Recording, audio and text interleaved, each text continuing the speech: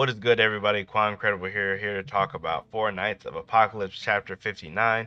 In this chapter, I really do like how it kind of like just went in like three, like it had like three plot lines, I guess, kind of going all at the same time. Granted, they are kind of all about more or less the same thing with the big goal of like finding Gawain, but I do, I did really like how it was split up into like, you know, three.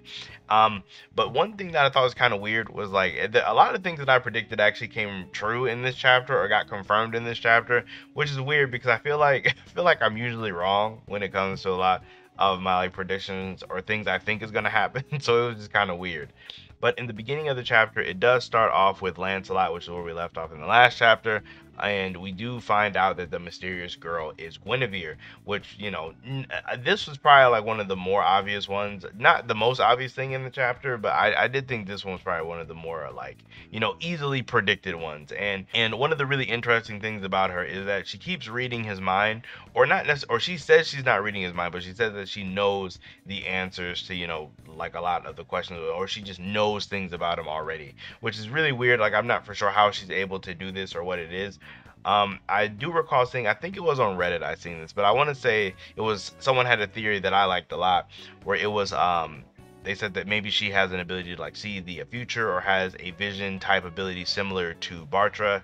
You know, Bartra, the previous king of, of Liones, Elizabeth's dad. Um, he has the ability to you know get premonitions of the future. So I wonder if she ha- if she has something like this and like she was just remembering or not remembering but she was seeing into the future to get the answers of things that she may have had a conversation with Lancelot in the future but then using those like using that information like in the current story like right now which would be you know, I feel like that's kind of weird now that I said it all out loud, but maybe she could be doing something along those lines. The other weird thing is like their like age gap is a little strange. I know things operate a lot differently in Japan than they do in in the states as far as like what's acceptable, but right, like I don't even want to get deep into it. It was just it, it was weird though to me too. Um, if you know, you know. But but aside from that, when she's leaving, she does tell him that she is going to be there. Um, you know, and she is going to be in Liones until tomorrow, and that they should meet up. But she also says that she can give him the location of the one that he is searching for, meaning that she more than likely knows where Gawain is and is going to tell Lancelot exactly where where he is, so Lancelot should be able to find him in the next chapter. After that, it does go over to the Chion plot line with uh, Tristan stepping in and stopping him before he goes too far. We did get to find out that this person in the armor is not actually Gawain. It's just some dude who found the suit of armor and just decided to put it on because it looks cool. Which I mean, the armor does look cool. I, I was a, a huge fan of you know the the um you know the whole like white and gold armor you know with all, with all the little suns on. I thought it was like I thought the armor looked cool. Plus it has a, a nice shield on it, like you can kind of see the shield right here, and I. I'm like a big fan of shields, but that's neither here nor there. But we do find out, like I said, this is not Gawain, but that doesn't make what Chion did any like less bad at all. Like he's still 100% a traitor for this one. And uh, big ups to Annie because Annie was actually the one to tip off Tristan to let him know that you know Chiana was acting a little sus. And I know this is something that I was thinking about as well as I know like probably a bunch of other people were thinking about too. Is like if Annie saw that Chiana was acting sus, how come she never said anything to anybody? Like how she, how come she didn't tell, tell Tristan? But as we got to see in this chapter that was not the case. She 100% alerted Tristan to what was going on. So, you know, big ups for Annie for that. And then for the last part of the chapter, it does go back um, to you know, Peleo versus the, the uh, this mysterious buff dude. Their fight, you know, does continue. It is reaching a point though where Peleo does realize that this guy is so skilled, he has to be a holy knight of some kind. And he does ask him where he's from or, or who he is or who I think it's where he is a, a holy knight. Um, like you know where he is a holy knight of. But of course he refuses to tell him because then he said you know this fight will go from a duel to a death match.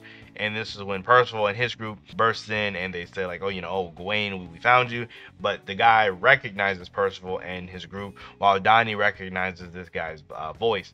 And after he reminds percival of the promise percival does remember who he is and it turns out to be pellegarde which is one of the things that i was saying. This one is the one i highlight the most stock in just because you know as far as like the whole personality you know the the the uh, build the even like we got to see his magic like it was just so many things were lining up for this to be pellegarde it just there's no way it could be anybody else.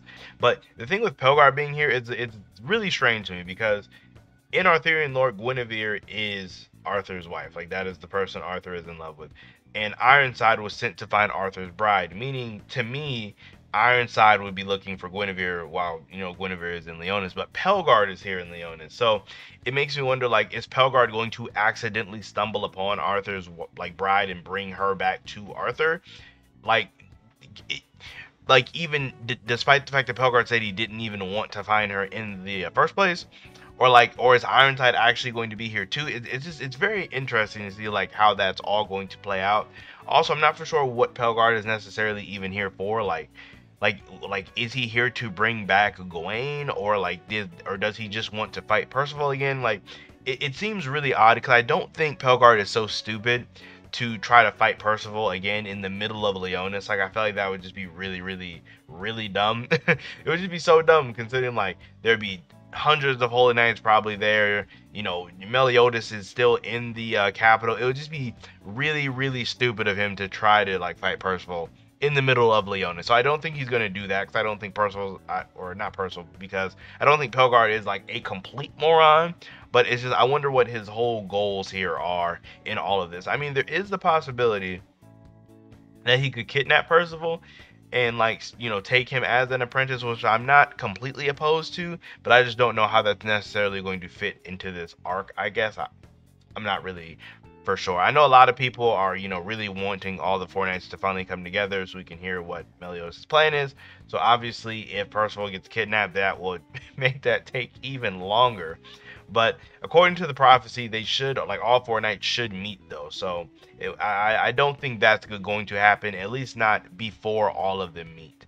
And as for who Gawain actually is or where Gawain actually is, I really have no idea who or where Gawain is or could be at this point because like we didn't really get to see any background characters like that could you know potentially be in the future like they could be Gawain. I know last review I was saying that you know that that there was some chick who's walking around in the background like who's throughout the like chapter in the background who could be Gawain, but we don't I, I didn't see her at all in this chapter. So I'm not really for sure what Nakaba is going for with um not really for sure what Nakaba is going for with Gawain in general. So I'm, I'm, just very curious, I guess, to see where all of that goes. All in all, I thought the chapter wasn't really that bad. Like it, it was an alright chapter. Like we got a lot of reveals and a lot of information confirmed, as well as the plot was uh like you know progressing forward. So I probably give the chapter probably like a six and a half, probably about six and a half, because it wasn't like the craziest chapter ever. You know, blew my mind or anything crazy, but it was a nice, you know, it, it was a decent chapter. It, it was all right. So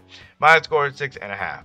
That being said, make sure you guys tell me down below how you guys feel about the chapter. Um, like who do you guys think Gawain is? Also, what do you guys think about Guinevere? Do you think Pellegarde is here to actually like take Guinevere back to um, Arthur, or, or you think it's just a, some odd coincidence? Also, what do you guys think Pellegarde is going to do in the capital? Do you think he's actually just here for a fight, or to kidnap Percival, or maybe to you know steal back Gawain? Kind of, kind of, what do you think is going to like happen here with all of these like separate plot lines? I guess kind of coming all together at once.